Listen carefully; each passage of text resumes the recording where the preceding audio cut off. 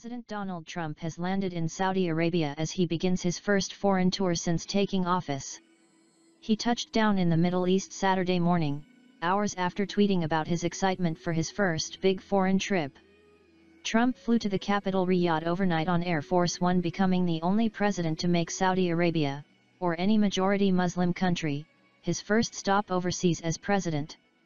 The president got the red carpet treatment literally and some airport workers took off their shoes before manicuring it with brooms in 97 degree heat.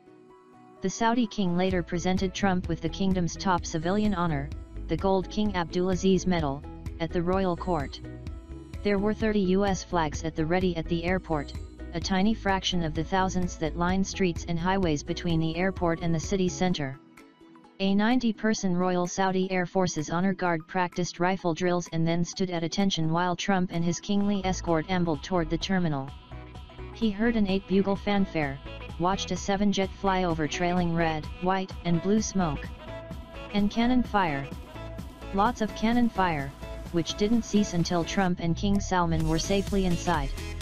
Inside the terminal, the fragrant smell of oud filled the air as workers burned the aromatic wood in charcoal lamps.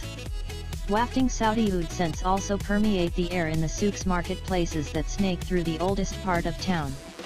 Just steps away is Ad Dira, known to locals as Chop Chop Square because of periodic public beheadings. Trump will face questions over the weekend about the wisdom of establishing partnerships with a government known for human rights violations and for its treatment of women. Females cannot drive cars in the kingdom, and their every move, from travel to shopping, is overseen by male family members.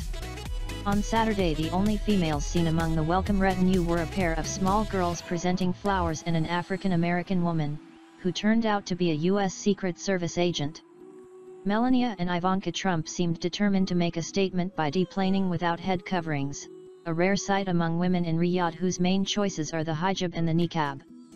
Still, the First Lady stayed a half dozen steps behind King Salman and her politician husband, escorted by a lone U.S. Marine in full dress uniform.